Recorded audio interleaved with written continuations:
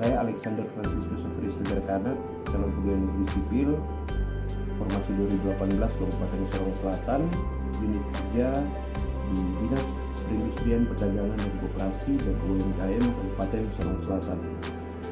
Pada kesempatan ini saya akan mempresentasikan laporan aktualisasi yang telah saya jalankan uh, selama 30 hari ini.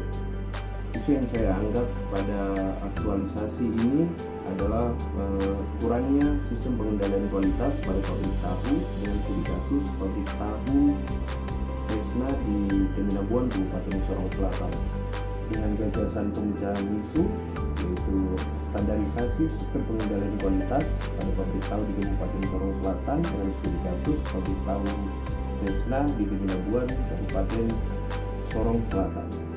Seminar rancangan aktualisasi beberapa waktu lalu kemudian uh, telah disetujui untuk dijalankan setiap kegiatan dan juga tahapan yang ada pada rancangan aktualisasi ini.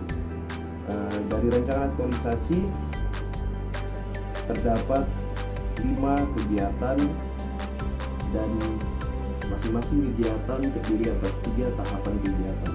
Seperti apa kegiatan dan tahapan kegiatan yang telah saya jalankan selama 30 hari ini? Mari kita saksikan sama-sama.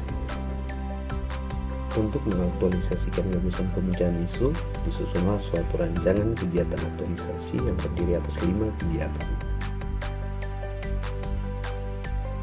Kegiatan 1. Mencari referensi Pada kegiatan ini, saya mencari referensi awal dari internet terkait sistem pengendalian kualitas pada pabrik tahu, baik dalam bentuk tulisan-tulisan maupun jurnal-jurnal hasil penelitian sebelumnya.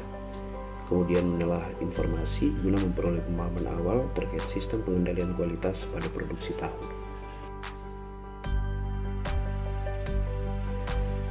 Kegiatan 2. Survei pabrik tahu Kegiatan ini diawali dengan konsultasi dengan pimpinan dalam hal ini Kepala Bidang Perindustrian guna menggali informasi terkait sistem pengendalian kualitas yang ada maupun kondisi pabrik tahu berdasarkan hasil pengawasan yang dilakukan selama ini. Setelah itu, saya membuat surat pemberitahuan yang ditujukan kepada pihak pengelola pabrik dan kemudian mengantarkan langsung surat pemberitahuan tersebut sekaligus menyampaikan pemberitahuan secara lisan terkait rencana kunjungan dalam rangka melakukan survei. Pada waktu yang ditentukan, saya melakukan survei ke pabrik tahu Sesna. Saat survei, saya memperhatikan dengan seksama setiap proses produksi,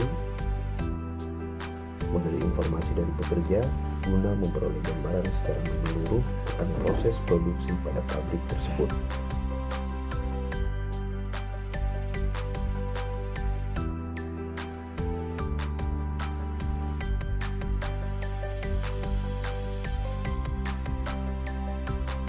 Kegiatan 3 mengolah data.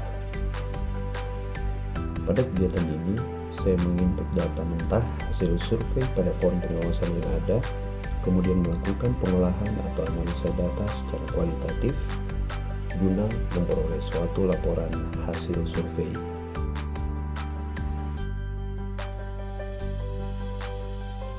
Kegiatan keempat menyusun kerangka.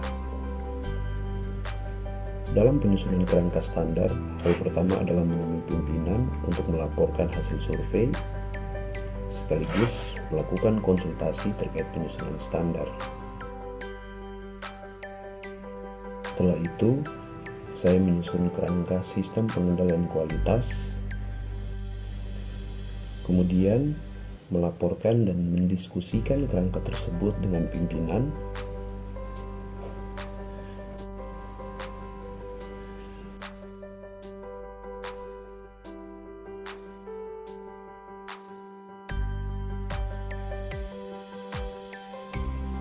dan menetapkan kerangka tersebut sebagai acuan standarisasi sistem pengendalian kualitas pada pabrik tahu di Kabupaten Sorong Selatan.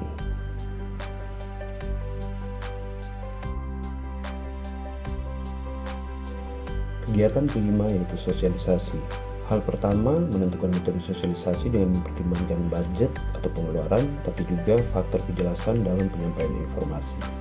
Kemudian menyusun materi sosialisasi dalam bentuk infografis kerangka acuan pengendalian kualitas pada pabrik tahu yang mana terdiri atas tujuh prinsip atau tujuh tahapan sistem pengendalian kualitas. Setelah itu menyiapkan dan mengantarkan surat pemberitahuan sosialisasi kepada pengelola pabrik tahu dan melakukan sosialisasi tentang sistem pengendalian kualitas pada produksi tahu di pabrik tahu Sesna.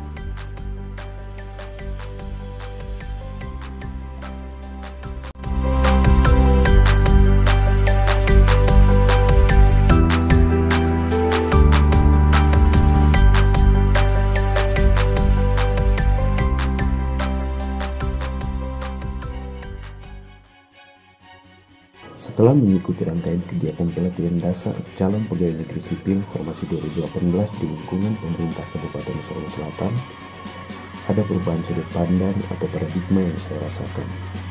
Fungsi ASN sebagai pelaksana kebijakan, pelayan publik, dan perekat satu bangsa adalah gambaran posisi ASN sebagai ujung tombak kehadiran pemerintah di tengah masyarakat.